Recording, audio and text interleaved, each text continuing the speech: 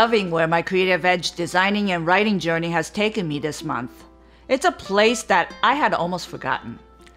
Working on an October article, I am literally reliving my early years as an upstart florist getting into the competition world. I have been in the floristry profession for over 40 years, with my love for tropical flowers going back to the 1980s when I was actively competing in every contest that I can get into. Tropicals were my creative edge. I used them with the temperate flowers in the years when the general rule was that the two could not be mixed. Using Anthurium, Paphiopedilum, Strelitzia, Tillandsia, Calathea, Flax, and Hala gave my work a clean, sleek, modern, and artistic look that garnered a lot of attention. It's fair to say that my love affair with tropicals began many years ago.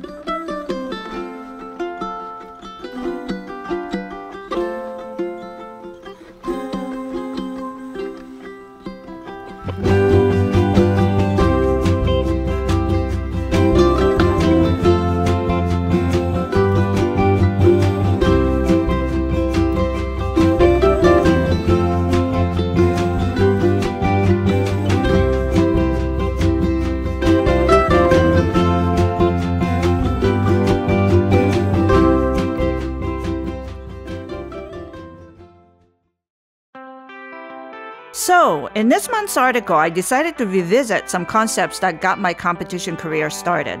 I was known many years for designing within a black frame, like art. I felt like reinventing this idea.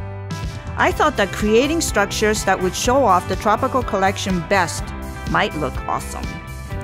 Back in my competition years, I experimented a lot with different non floral materials, building structures and mechanics that would set my work apart. I think when you set your sights to stretch your creativity beyond just everyday designing, your growth as a designer increases exponentially. These are the greatest years of your designing life when you feel vital and elated with your personal accomplishments. When you're producing work that truly excites you, and yes, you can hug yourself for being so brilliant. It's okay to love your own work. In fact, when you're loving what you're creating, it always turns out gorgeous. That love shows in your work. I love building cool structures that, when flowered, help tell a riveting story.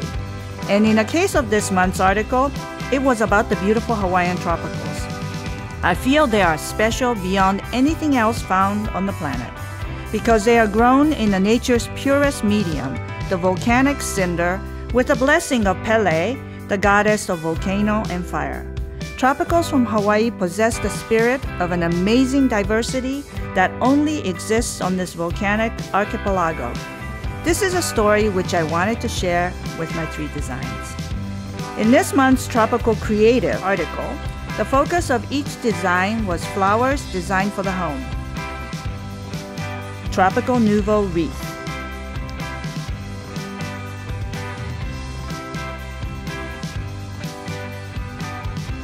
Neotropica canvas,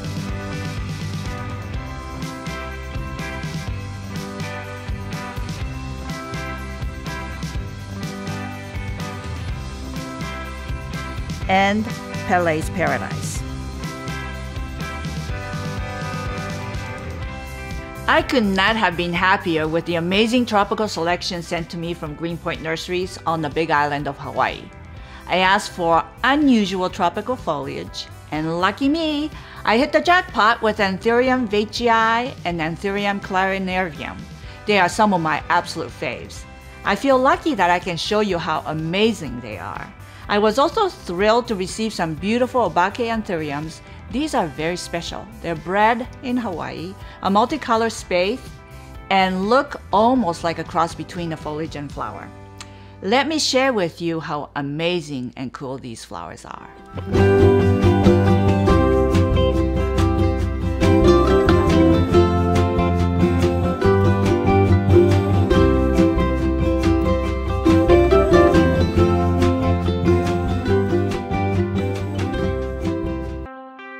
To read this month's full article, please visit hitomigilliam.com slash creative edge. You'll see multiple images of all three designs along with the accompanying article for more insight, as well as a list of botanicals and supplies used to create each of the three pieces. Also, look for two upcoming tutorial videos from this month's article right here on my YouTube channel. First, a quick tutorial on how I created the Pele's Paradise Lava Vertical Mechanics, coming this Saturday, October the 3rd. Then watch for my flower canvas construction tutorial coming Monday, the October the 5th. I'll break down the construction and mechanics used to create the frame in my Neotropica Hawaii's flower canvas.